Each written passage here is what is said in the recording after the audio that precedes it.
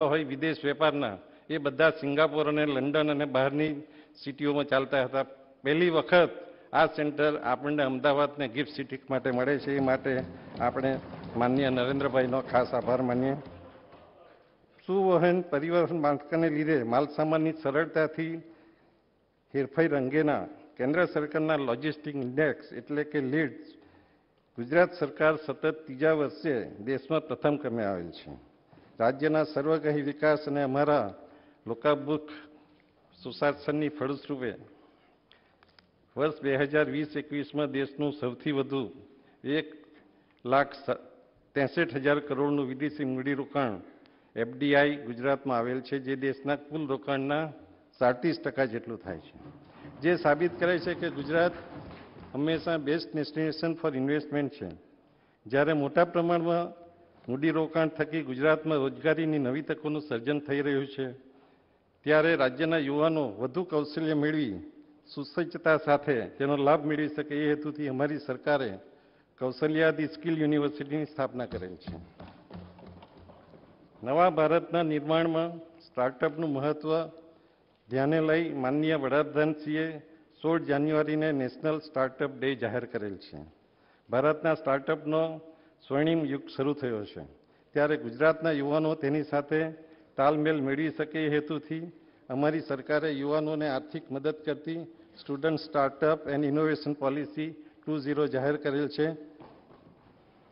આધુનિક ટેકનોલોજી અને ડ્રોનના ઉપયોગથી સર્વિસ ડિલિવરીની કાર્યક્ષમતા વધારવા અને વહીવટી પ્રક્રિયાઓમાં સુધારો કરવા સરકાર સંકલ્પબદ્ધ છે. રાજ્યમાં આગામી દિવસોમાં ડ્રોન સર્વિસ પ્રોવાઈડરોની ક્ષમતા વર્ધન માટે ડ્રોન સંશોધન અને વિકાસ કેન્દ્ર તેમજ ડ્રોનના તાલીમ સંસ્થાઓ સ્થાપી, કૃષિ, જમીન માપણી, આરોગ્ય, માળખાકીય કામો, કાયદો અને વ્યવસ્થા જેવા ક્ષેત્રોમાં તેનો ઉપયોગ વધારવાનું આયોજન છે. માન્ય મુખ્યમંત્રી શ્રી ભૂપેન્દ્રભાઈ પટેલના નેતૃત્વમાં અમારી સરકારે રોજગારીની નવી તકો ઊભી કરવા ઇન્ફોર્મેશન ટેકનોલોજીના ક્ષેત્રમાં રોકાણોને વેગ આપવા નવી આઈટી નીતિની જાહેરાત કરેલ છે. આ નીતિ અંતર્ગત વિશ્વકક્ષાના આઈટી ઇન્ફ્રાસ્ટ્રક્ચરનું નિર્માણ કરી ઉચ્ચ કૌશલ્ય ધરાવતા માનવબળ થકી ગુજરાતમાં આઈટી ઇકોસિસ્ટમમાં પરિવર્તન લાવવાનું લક્ષ્ય છે. બ્રાયોપાસ પ્લાસ્ટિકથી શરૂ થઈ જીન સ્પ્લાઇસિંગ અને સ્ટેમ થેરેપી જેવી ક્ષેત્રોને પ્રોત્સાહન આપવા સરકારે બાયોટેકનોલોજી નીતિ જાહેર કરેલ છે. આ નીતિથી આઈટી અને બીટી એક્સપોર્ટમાં ધરખમ વધારો થવાથી રાજ્યમાં બે લાખ કરતાં વધુ નવી રોજગારીની તકોનું સર્જન થશે. માનનીય અધ્યક્ષ મહોદયા, ઉત્તમ અને પરિણામલક્ષી વહીવટ માટે સારું નાણાકીય વ્યવસ્થાપન અનિવાર્ય છે.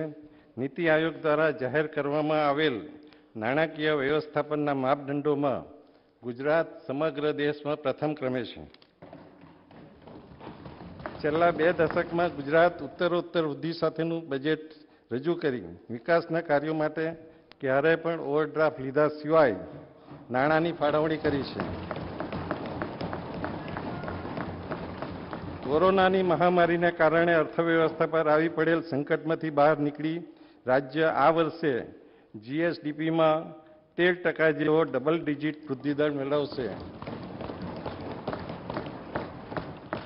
સદીની સૌથી ભયાનક મહામારીના કારણે ઉદ્ભવેલ આર્થિક સંકટ વચ્ચે પણ નાણાકીય જોગવાઈમાં વધારો કરીને વિકાસને વેગ આપતું તેમજ સમાજના તમામ વર્ગોની સુખાકારીમાં વધારો કરતું વર્ષ બે હજાર બાવીસ ત્રેવીસનું રૂપિયા બે લાખ તેતાલીસ હજાર નવસો પાસઠ કરોડનો અંદાજપત્ર આ સન્માનનીય ગૃહમાં રજૂ કરું છું.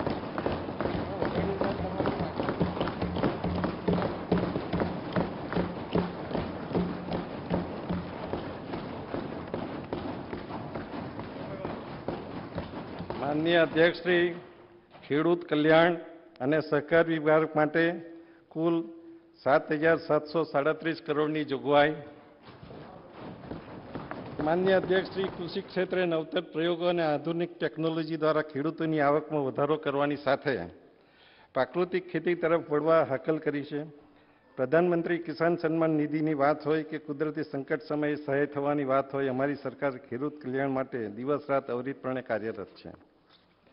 ખેડૂત કલ્યાણને કેન્દ્ર સ્થાને રાખી પ્રધાનમંત્રી કિસાન સન્માન નિધિ યોજના અંતર્ગત પ્રત્યેક ખેડૂત ખેડૂત ખાતેદારને વાર્ષિક છ હજાર આપવાની યોજના અમલી બનાવી છે. આ યોજના અંતર્ગત આજ સુધીમાં ગુજરાતના આશરે એકસઠ લાખ ખેડૂતોને સીધે સીધા તેમના બેંક ખાતામાં દસ હજાર કરોડ પ્રાપ્ત થયેલ છે. ખેડૂતોના વીજ જોડાણ તેમજ રાહત દરે વીજળી ઉપલબ્ધ કરાવવા આઠ હજાર ત્રણસો કરોડ જેવી માપતર રકમની સબસિડી આપવામાં આવે છે. વીજ જોડાણ માટે હાલમાં પડતર બધી અરજીઓ આઝાદીના અમૃત મહોત્સવ પહેલાં એટલે કે સપ્ટેમ્બરના એન્ડ સુધીમાં નિકાલ કરી ખેડૂતોને વીજ જોડાણમાં આપવામાં આવશે.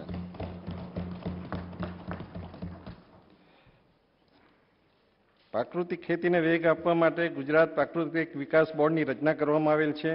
આ બોર્ડ ખેડૂતોને અભિયાનમાં જોડી કૃષિ ઉત્પાદન વધારવા માટે કાર્ય કરશે. તે માટે જોગવાઈ રૂપિયા સો કરોડ.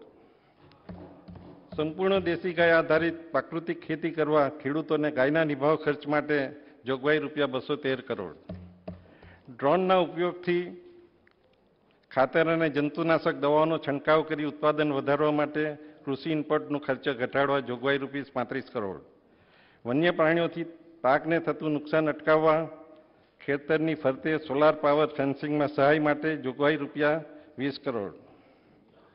અમારા રાઘવજીભાઈની વારંવારની રજૂઆત હતી, રાજ્યના સ્થાનિક ઉત્પાદકો દ્વારા વિકસાવવામાં આવેલ કૃષિ સાધન સનેડો ના ઉપયોગને સહાય આપી પ્રોત્સાહિત કરવા માટે રૂપિયા દસ કરોડ.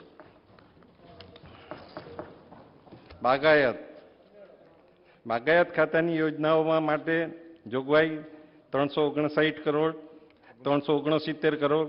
કમલમ, ડ્રેગન ફ્રૂટ વાવેતર વિસ્તારમાં વધારો થાય તે માટે જોગવાઈ વીસ કરોડ. મધ ક્રાંતિને વેગ આપવા રાજ્યના દસ હજાર ખેડૂતોને મધ ઉત્પાદનમાં જોડવા જોગવાઈ રૂપિયા દસ કરોડ. કૃષિ યુનિવર્સિટી હસ્તક કૃષિ સંશોધન અને શિક્ષણના કાર્યક્રમોને સઘન બનાવવા જોગવાઈ રૂપિયા સાતસો સત્તાવન કરોડ. પશુપાલન ને ખેડૂતોના ટૂંકી ધિરાણના પર વ્યાજ રાહત માટે જોગવાઈ રૂપિયા ત્રણસો કરોડ. ગૌશાળા, પાંજરાપોળ અને ટ્રસ્ટ સંચાલિત સંસ્થાઓને ગૌવંશ નિભાવ તેમજ માળખાકીય સગવડોના વિકાસ માટે મુખ્યમંત્રી ગૌ માતા પોષણ યોજના અંતર્ગત જોગવાઈ રૂપિયા પાંચસો કરોડ. ગ્રામ્ય વિસ્તારમાં રખડતા તેમજ નિરાધાર ઢોરના નિભાવ ખર્ચ તેમજ વ્યવસ્થા માટે જોગવાઈ રૂપિયા પચાસ કરોડ.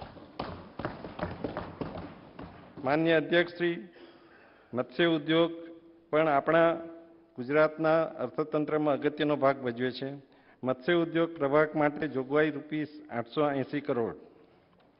માછીમારોને મળતા રાહત દળના ડીઝલની મર્યાદામાં દરેક સ્તર પર બે હજાર લીટરનો વધારો કરી સરકારના નિર્ણયની હું જાહેરાત કરું છું. સાગર ખેડૂઓને હાઈસ્પીડ ડીઝલ વેટ રાહત યોજના પેટે જોગવાઈ રૂપિયા બસો ત્રીસ કરોડ. સાગર ખેડૂઓને ટૂંકી મુદતના ધિરાણ ઉપર વ્યાજ સહાય આપવા જોગવાઈ રૂપિયા પંચોતેર કરોડ. પાંચ બારમાસી બંદરો, નવા બંદર, વેળાવર બે, મઢવાડ, પોરબંદર બે અને સુત્રાપાડાના વિકાસ તેમજ મત્સ્ય ઉદ્યોગ કેન્દ્રોના નિર્માણની યોજના હેઠળ જોગવાઈ રૂપીસ બસો એક કરોડ. માન્ય અધ્યક્ષશ્રી, સહકાર વિભાગની માંગણીઓમાં ખેડૂતોને ખરીફ રવિ તેમજ ઉનાળુ પાક માટે વ્યાજ રાહતની યોજના માટે જોગવાઈ રૂપીસ બારસો પચાસ કરોડ. સહકારી ખાંડ મિલોને પુનર્વિત કાર્ય કરે કાર્યાન્વિત કરવા માટે લોન પેટે રૂપિયા દસ કરોડ. જે ખાંડ મંડળીઓ નબળી છે, ઇથેનોલનો સરકારે ઉમેરો કરવાની જે રજા આપી છે, એના લીધે ખાંડ મંડળીઓ જો પુનર્જીવિત થાય, તો અર્થતંત્રમાં સારો ફાળો આપી શકે એ હેતુથી આ કરવામાં આવ્યું છે.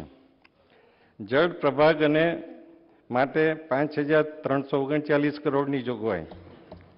રાજ્યની જીવાદોરી સમાન સરદાર સરોવર યોજનાનું કામ મહદ અંશે પૂર્ણ થતાં સિક્સટી નાઇન લાખ હેક્ટર વિસ્તારમાં સિંચાઈ સુવિધા ઉપલબ્ધ થઈ સમગ્ર રાજ્યને જળ સુરક્ષાનું કવચ મળેલ છે. પર ડ્રોપ મોર ક્રોપ સિદ્ધાંતને ધ્યાને લઈ જળ સંશોધનોના અસરકારક વપરાશ માટે રાજ્ય સરકાર કાર્યરત છે. સૌરાષ્ટ્ર વિસ્તારમાં સૌની યોજના તેરસો એકોતેર કિલોમીટર લંબાઈના ચોવીસ પેકેજના કામગીરી પૂર્ણ થયેલ છે.